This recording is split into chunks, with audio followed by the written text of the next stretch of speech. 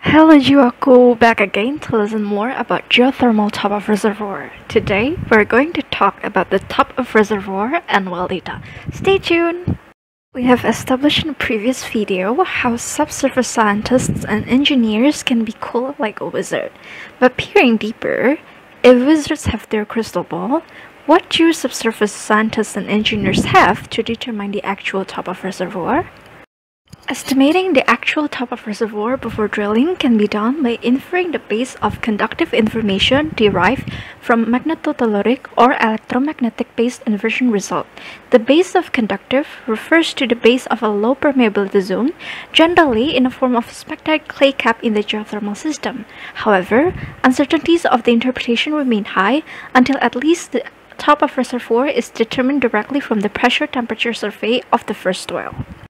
In geothermal drilling, the actual top of reservoir information from subsurface inference could be confirmed from several good data, preferably the pressure temperature profile.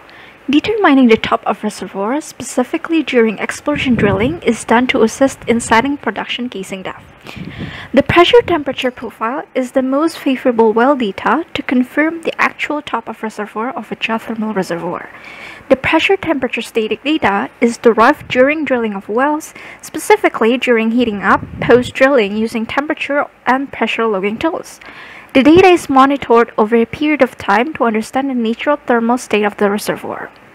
The temperature profile indicates the convective zone by the linear temperature, while the pressure profile capable of showing the convective zone by the increasing pressure.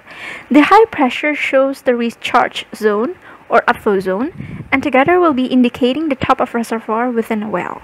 Ca this capability, have Steingrimsson in 2013, further establishes how the pressure temperature profile is the most reliable data used to confirm the actual top of the reservoir. Other types of well data that can be used to indicate the actual top of reservoir are drilling parameters such as loss circulation and mineralogy such as the presence of the first euhedral epidote or methylene blue analysis. Makuk in 2013 notes that the lost circulation refers to the loss of drilling fluid or cement slurry, partially or completely to highly permeable zones, cavernous, and naturally or induced fractured formations. Lost circulation is caused by either poor drilling practices or natural factors that are associated with the type of formation that is being drilled to. The loss of circulation in geothermal reservoirs, particularly due to natural factors, may indicate intersecting fractures or permeable zones, which are commonly found in geothermal reservoirs. The first euhedral epidote, on the other hand, is found by observing the cutting circulated by drilling mud via microscope by a well-site geologist. It can also be used to signify the high temperature and permeable zones, which is also commonly found in reservoir zones. Methylene blue is an organic dye that shows high selectivity for adsorption by smectite clays.